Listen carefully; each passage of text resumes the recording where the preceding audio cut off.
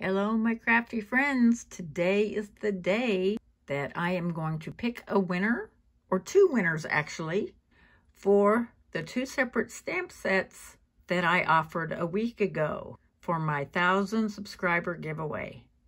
I am so very thankful to all of you, and let's get started. The first one will be the Jars of Love set. Okay, we have six unique comments, looks like. Let's push start and see who we have here. Kay Gonzalez! Her comment is, I am so inspired by you. Thank, thank you for reminding me of the joy of card making and crafting. Awesome.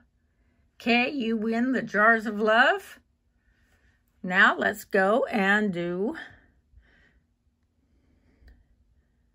Delightful details. Okay, we have four unique comments for delicate details. Let's push that button. And it is Karen C. Her comment is, so happy for you. Congratulations. Wishing you many more. Jars of love or delicate details. Okay.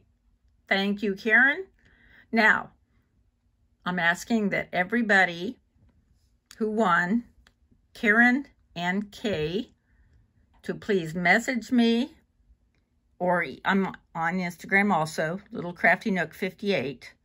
So please let me know, and I will send that out as soon as possible. Thank you, Karen and Kay. Congratulations.